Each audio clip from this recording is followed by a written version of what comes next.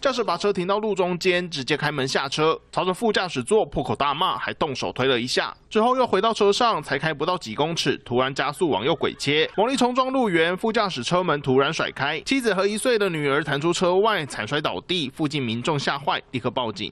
就是一直有那种暴力的行为，就是他说什么，你为了这个手机一直在跟我乱，然后他说刚刚是你先扯我衣服的，他说我在开车，你一直扯我衣服。二十一号下午四点半左右，李姓驾驶开着小货车，载着妻女外出，途中一岁多的女儿躁动吵闹，突然打翻放螺丝的工具盘，让李姓驾驶大动肝火，不顾后方车辆猛按喇叭，当街下车和妻子大吵，随后又回到车上往前开时，妻子一气之下出手拉动方向盘，导致车辆失控。跟着女儿摔出车外，身体多处擦挫伤。通知救护车送往医院就医后无大碍。一家夫妻两人戴关手做笔录。夫妻的脱序行为造成小孩受伤，两人都被以公共危险罪函送侦办。警方也通知社会局介入关怀辅导。另外，儿童未做安全座椅部分，可以道交条例处最高三千元罚款。就姚立雄、黄明君、陈冠宇新闻报道。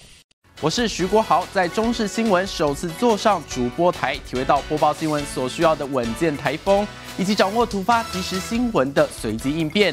为观众播报最及时的新闻，就是展现专业的时刻。更多新闻，请锁定中视新闻 YouTube 频道，记得按赞、订阅、分享，并开启小铃铛哦。